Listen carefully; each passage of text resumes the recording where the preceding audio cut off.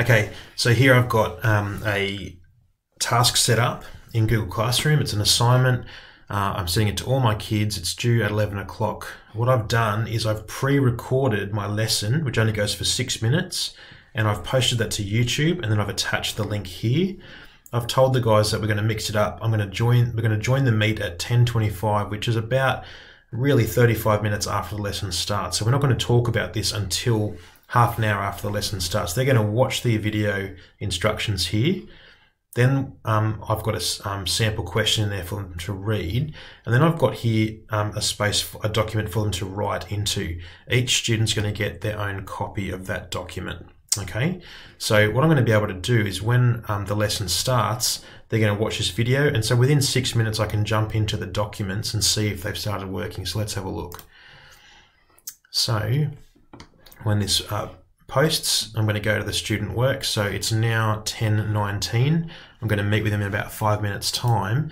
The student work here, I can actually open up the student's work while uh, we are um, talking here. And you can see here that here's the student. They've started working in the document and this is live. And I can scroll between each of the kids and I can actually see how they're going and see who's going quickly and who's going slowly. And so here, as they go, I can see Ellen Carter is in the middle of writing her work. And in a few minutes time, I'm going to actually open up here. I can scroll between each student's work and I can actually have a look at their answer and I can highlight here. So here is the opening sentence. Repetition of will illustrates a hopeful and expected relief of what is to come with the future. So that's a clear topic sentence. So what I can do is live, I can actually comment uh, on that student's work and then move on to the next student. So it's pretty easy and fast to quickly give feedback.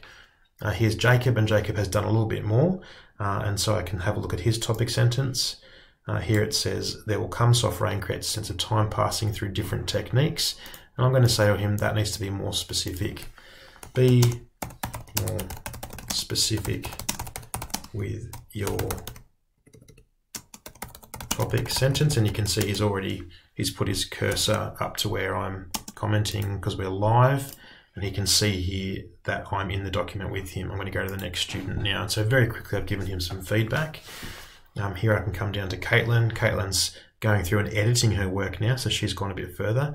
And I can see here with her topic sentence, that might be what I'm focusing on, or I might actually focus in on some of the way she's used some quotes.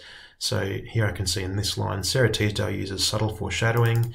So she's got a technique in there and she's got a quote um, this line sets the tone for the following lines. So she's got a, a, pretty good use of quotes there. So I'm going to give her some feedback really quickly and say, um, great weaving of evidence into your answer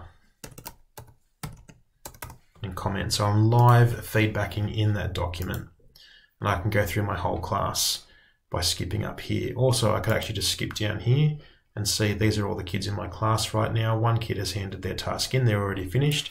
It's 10.22, so I'm about to go and join the meet and then do some feedback with, with each of the kids. So that's a way that you could use a Google Classroom post to live feedback your kids.